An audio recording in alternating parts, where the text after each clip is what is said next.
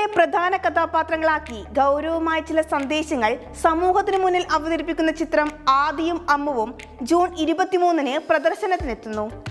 അഖിൽ ഫിലിംസിന്റെ ബാനറിൽ Wilson Thomas Saji മംഗലത്ത് എന്നിവരാണ് ചിത്രം സംവിധാനം ചെയ്യുന്നത്. കുട്ടികളെ കേന്ദ്രീകരിച്ചാണ് സിനിമയെ അവതരിപ്പിക്കുന്നതെങ്കിലും എല്ലാ വിഭാഗം പ്രേക്ഷകർക്കും ആസ്വദിക്കാവുന്ന രീതിയിലാണ് ചിത്രത്തിന്റെ അവതരണം. സംഗീതവും നർമ്മവും ഹൃദയസ്പർശിയായ രംഗങ്ങളും ആക്ഷനുമെല്ലാം കോർത്തിണക്കിയുള്ള ഒരു ക്ലീൻ എന്റർടൈൻ ആണ് ചിത്രം.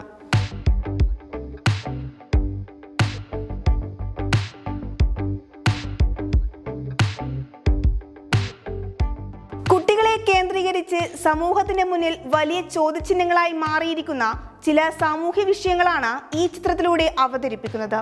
ഗൗരവകരമായ വിഷയത്തെ എല്ലാവിധ ആകർഷക ഘടകങ്ങളിലൂടെയുമാണ് അവതരിപ്പിക്കുന്നത്. നിഷ്കളങ്കരായ കുട്ടികളുടെ മനസ്സിലേക്ക് നാം പകർന്നു കൊടുക്കുന്ന നിറം പിടിച്ച കഥകൾ അവരുടെ വ്യക്തിവികാസത്തെയും സ്വഭാവ രൂപീകരണത്തെയും ഏറെ സ്വാധീനിക്കാറുണ്ട്.